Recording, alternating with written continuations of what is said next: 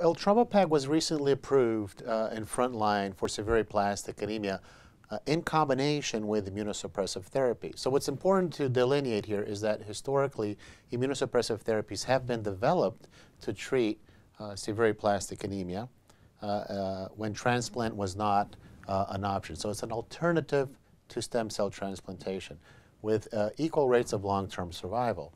Uh, so immunosuppressive therapy in the form of horse ATG cyclosporin has been the most well-studied uh, regimen in Europe, Asia, and the United States for decades. Now, several attempts have been made in order to improve outcomes of horse ATG, including adding more immunosuppression like mycophenolate, sirolimus, uh, rabbit ATG, alemtuzumab, cyclophosphamide. Many of these therapies actually worked in the sense that they never improved the response rate or the survival. So in 2010, there was a trial that was developed to add uh, eltrombopag to immunosuppressive, which started in 2012, asking the question, could a growth factor that was shown to be active in aplastic anemia earlier in refractory patients could have activity in the upfront setting. That is, in combination with the standard horse ATG cyclosporin regimen. So that was a study that was conducted from 2012 to 2017. It was published in the New England Journal in 2017 showing uh, remarkable rates of overall response rate in the order of 90, 95%, and complete response rates in the order of 40 to 50%. And in some patients, actually, the response rate complete was up to uh, 50 to 60%. So these are unheard numbers with immunosuppression alone. So this would prompted the enthusiasm for this regimen, decreasing the pool of patients who were refractory to initial immunosuppressive therapy.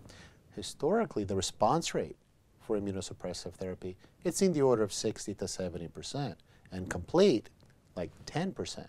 So having people 40 to 50% responding complete response actually looks like you're really changing the natural history of the disease.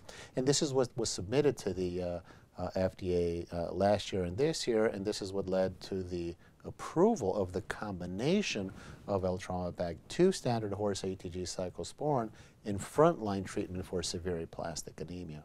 The standard regimen of severe aplastic anemia in terms of immunosuppressive therapy is ATG plus cyclosporin.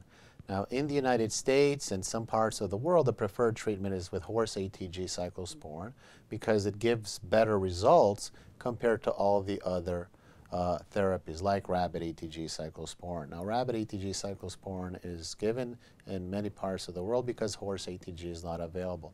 So the frontline regimen involves a combination of ATG plus cyclosporin, preferably horse ATG cyclosporin, which is the regimen that has been associated with a higher overall response rates and long-term survival. In fact, there have been studies comparing horse versus rabbit ATG, and most prospective studies show that there is a benefit towards the horse ATG regimen, which is interestingly a less potent immunosuppressant uh, regimen, uh, which was uh, unexpected given that more potent regimens were investigated, but they did not yield better results. So the standard uh, is a horse ATG cyclosporin. Now what's probably going to change with the approval of eltrombopag is that given the higher overall response rates and complete response rates and decreasing that pool of patients who actually are refractory to frontline therapy,